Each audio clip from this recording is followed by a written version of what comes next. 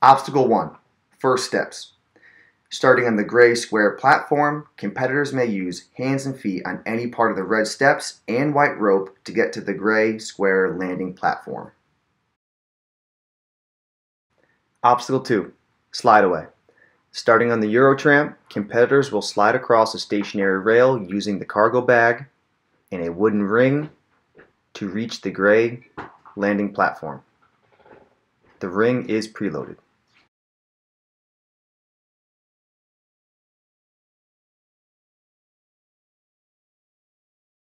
Obstacle 3 Realignment. Starting on the green block, competitors will use the cannonballs to traverse across to the gray landing platform. The first cannonball is stationary, all other cannonballs can slide along the rail.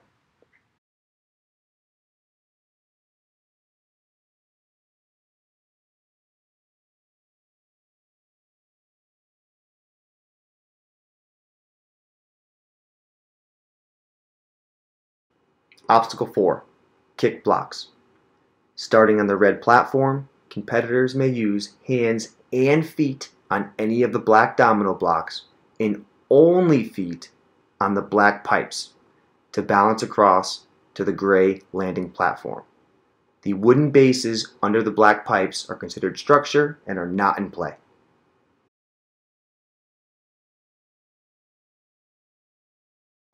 Obstacle 5 Thumbtacks. Starting on the red platform, competitors may only use their hands on the black and red pads and only use their feet on the wooden spinner and the wooden thumbtacks. The black and red pad at the end is the landing platform. Obstacle 6 Spin cycles.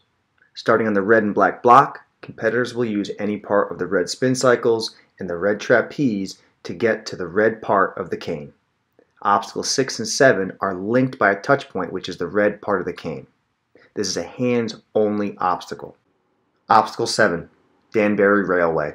Starting on the red part of the cane, competitors may use either cane, red area only, to get to the blue landing platform.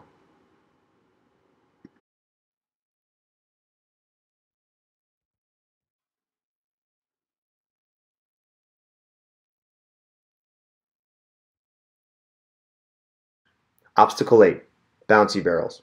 Starting on the black and red block, competitors will use any part of the red lumberjack door, the small barrel, and the large barrel to get to the blue landing platform.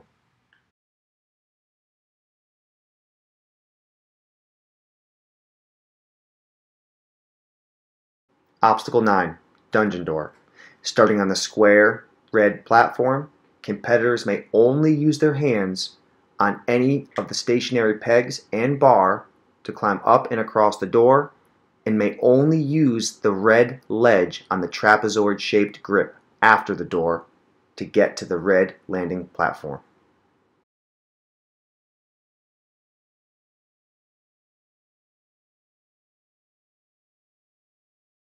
Obstacle 10 Dizzy Discs. Starting on the red block, competitors may use any part of the Eurotramp and any of the three discs to get to the gray landing platform.